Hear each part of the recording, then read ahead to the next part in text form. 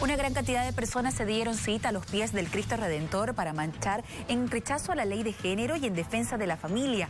Jóvenes, niños y adultos expresaron el mensaje que querían dar apoyados con carteles, poleras, pancartas y globos. La cantidad de gente abarcó desde la Plaza del Estudiante hasta el Cristo, copando una de las vías de la avenida Monseñor.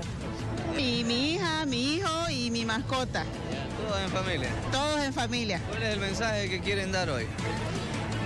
Es proteger la familia. Sí, así es, estamos aquí por esta causa, no vamos en contra de nadie, estamos nosotros siempre apoyando la familia natural, el concepto de la procreación, ¿no? la unión entre un hombre y una mujer. No se puede deshacer una familia y, hacer infelices a los niños adoptados. Tienen que ser natural.